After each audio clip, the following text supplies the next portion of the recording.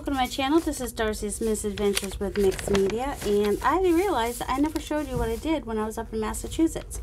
I did do some gel printing, and so I thought I would go ahead and just show you real quick what I did while I was up there, because there were some interesting prints. Uh, most of what you'll see are PM Artist Studio.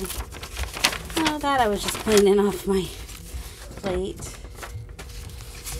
Played with some turtles. These are designed by Fran Baker, PM Artist Studio designer. More PM Artist Studio. Yeah, we'll just... I'll just tell you when it's not PM Artist Studio. How's that?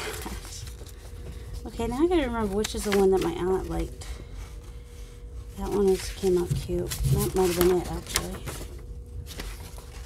Like, some of them got left, I left up there for them, and then there was one that I need to resize. That one's interesting. Little turtle.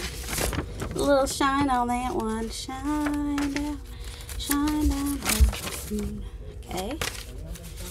Oh, this is the aqueous effervescent stencil that you may have seen on 49 Dragonflies when she showed some of him artist studios. I love how the turtle came out. Don't necessarily love it with the colors behind it. Yeah, that's what happens when you just start mark putting stuff on paper. I have a Ranger gel plate now that is long and thin like that. Which is why I have these pieces like that.